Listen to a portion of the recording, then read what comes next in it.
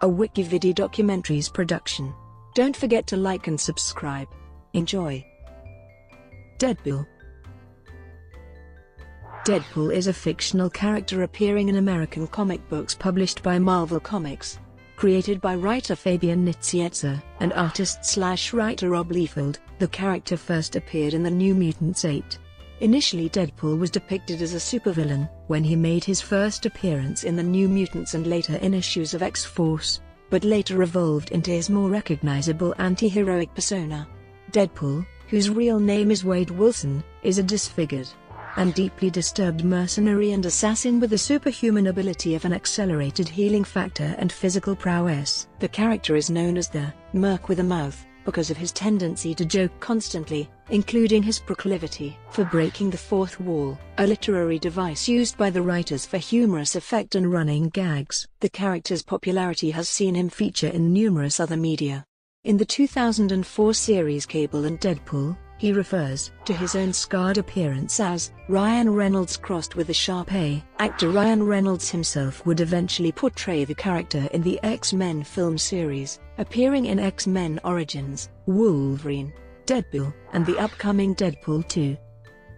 1990s Created by artist-slash-writer Rob Liefeld and writer Fabian Nicieza, Deadpool made his first appearance in the pages of the New Mutants 8 cover dated February 1991.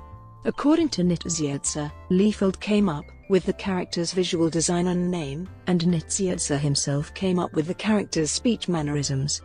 Liefeld, a fan of the Teen Titans comics, showed his new character to then writer Fabian Nicieza. Upon seeing the costume and noting his characteristics, Nicieza contacted Liefeld, saying, This is Deathstroke from Teen Titans. Nicieza gave Deadpool the real name of Wade Wilson, as an inside joke, to being related to Slade Wilson, Deathstroke. Other inspirations were Spider-Man and Wolverine. Liefeld states, Wolverine and Spider-Man were the two properties I was competing with at all times. I didn't have those, I didn't have access to those. I had to make my own Spider-Man and Wolverine. That's what Cable and Deadpool were meant to be, my own Spider-Man and my own Wolverine. Both Deadpool and Cable were also meant to be tied into Wolverine's history already from the start. As Liefeld describes, Wolverine was my guy, if I could tie anything into Wolverine, I was winning. Liefeld's favorite comic title before X-Men was Avengers, which featured weapons like Captain America's shield, Thor's hammer and Hawkeye's bow and arrow, he decided to weaponize his new characters as well. In his first appearance, Deadpool is hired by Tolliver to attack Cable and the New Mutants, after subsequently appearing in X-Force as a recurring character. Deadpool began making guest appearances in a number of different Marvel Comics titles such as The Avengers, Daredevil, and Heroes for Hire. In 1993, the character received his own miniseries, titled The Circle Chase, written by Fabian Nicieza and penciled by Joe Madureira. It was a relative success and Deadpool starred in a second, self-titled miniseries written in 1994 by Mark Waid, penciled by Ian Churchill, and inked by Jason Temujin Minor and Bud LaRosa. Waid later commented, Frankly, if I'd known Deadpool was such a creep when I agreed to write the miniseries, I wouldn't have done it. Someone who hasn't paid for their crimes presents a problem for me. In 1997, Deadpool was given his own ongoing title, initially written by Joe Kelly, with then newcomer Ed McGuinness as an artist. Deadpool became an action comedy parody of the cosmic drama, anti-hero heavy comics of the time. The series firmly established his supporting cast, including his prisoner-slash-den mother Blind Al and his best friend Weasel. The ongoing series gained cult popularity for its unorthodox main character and its balance of angst and pop culture slapstick and the character became less of a villain, though the element of his moral ambiguity remained. The writer Joe Kelly noted, with Deadpool, we could do anything we wanted, because everybody just expected the book to be cancelled every five seconds, so nobody was paying attention. And we could get away with it. Reportedly Kelly introduced the fourth wall breaking gimmick, the series was taken over by Christopher Priest who noted that he found Kelly's issues to be complex and a little hostile to new readers like me, and that by issue 37, he realized that it was okay to make Deadpool look stupid. Kelly may have introduced Deadpool to breaking the fourth wall, but Priest could be credited for establishing it as an essential part of the character's personality and worldview. Priest left the series after only one year at issue 5. 2000s.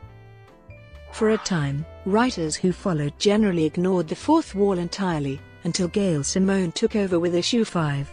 Her version is remembered for the frequent use of the little yellow boxes.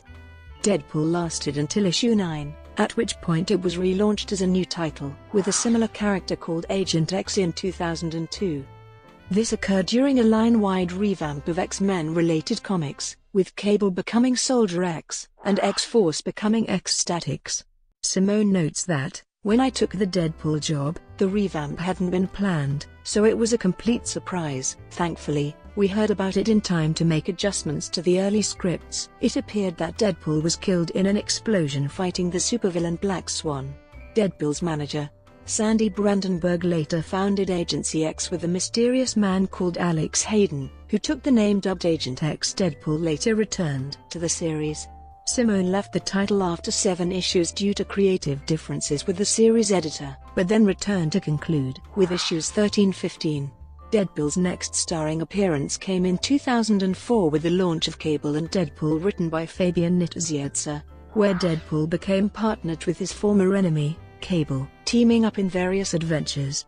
This title was cancelled with issue 0 and replaced by a new Cable series in March 2008. Deadpool then appeared briefly in The Wolverine Origins title by writer Daniel Way before Way and Paco Medina launched another Deadpool title in September 2008. Medina was the main series artist, with Carlo Barberi filling in on the first issue after the Secret Invasion tie-in a new Deadpool ongoing series written by Daniel Way with artist Paco Medina began as a Secret Invasion tie-in. In the first arc, the character is seen working with Nick Fury to steal data on how to kill the Skrull Queen Veranke. Norman Osborn steals the information that Deadpool had stolen from the Skrulls, and subsequent stories deal with the fallout from that. Writer Daniel Way explained, the first thing Osborn does to try and take care of the situation is to bring in a hired gun to take Deadpool down, which would be Tiger Shark. That would be the standard thing to do. But of course everything about Deadpool is non-standard. So it goes completely awry and Norman has to get more serious about things. The story also sees the return of Bob, agent of Hydra. I don't want the book to become Deadpool and Friends so characters will drift in and out, but Bob was someone I definitely wanted to bring in. It just had to be at the perfect moment and when I was putting this storyline together that moment presented itself. This all led directly to a confrontation with a new Thunderbolts in Magnum Opus, which crossed over between Deadpool Volume 29 and Thunderbolts 3131. Thunderbolts writer Andy Diggle said, It's a natural progression for Deadpool to go after Norman, and for Norman to send his personal hit squad after Deadpool. In Deadpool 5, Deadpool decides to become a hero resulting in conflicts with proper heroes like Spider-Man and leading to a three-issue arc where he takes on Hit-Monkey, a character who debuted in the same month in a digital, then print, one-shot. Another ongoing Deadpool series, Deadpool, Merc with a Mouth launched in July 2009, written by Victor Gischler, with art by Bong Dazo. In it Deadpool teams with Headpool from Marvel Zombies 3 and 4. A special anniversary issue titled Deadpool 00 was released in October 2009. It features stories written by several authors, with the main feature written by the original Deadpool series writer Joe Kelly and drawn by Deadpool's creator Rob Liefeld. A third Deadpool ongoing series, Deadpool Team Up, launched in November 2009, written by Fred Van Lente, with art by Dalibor Talajić. This series features Deadpool teaming up with different heroes from the Marvel Universe in each issue, such as Hercules. Deadpool also joined the cast of the new Uncanny X-Force team.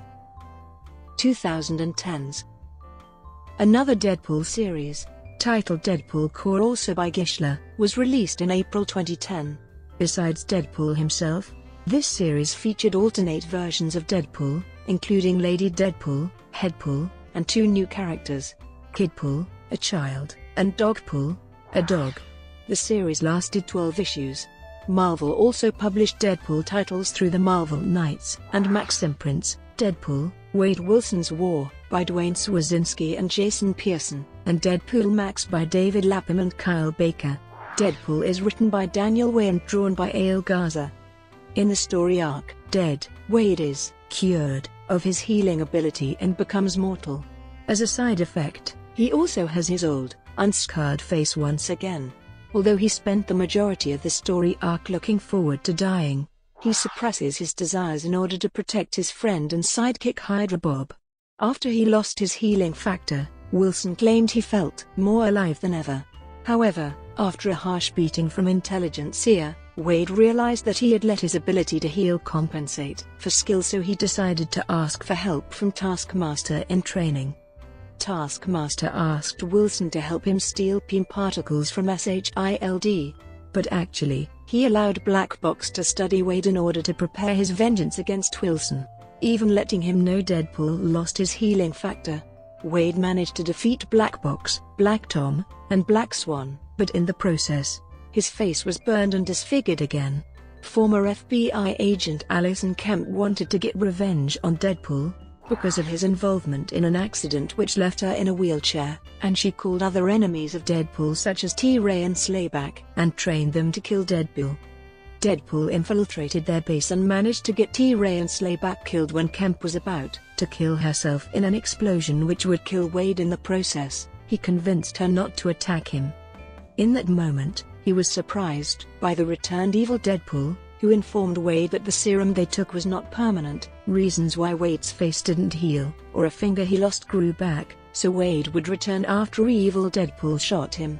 Daniel Way's Deadpool series concluded with issue 63 as part of Marvel's Marvel Now initiative. A new Deadpool ongoing series was launched, written by Brian Posehn and Gerry Duggan and illustrated by Tony Moore.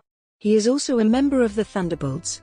In the 27th issue of his new series, as part of All New Marvel Now, Deadpool was married for the third time. Initially a secret, his bride was revealed in the webcomic Deadpool, the Gauntlet to be Shiklah, Queen of the Undead. Deadpool also discovers that he has a daughter by the name of Eleanor from a former flame of Deadpool named Carmelita. During the events of Original Sin, it was revealed that Deadpool was tricked into killing his parents by a scientist known as Butler. However Deadpool does not know about it.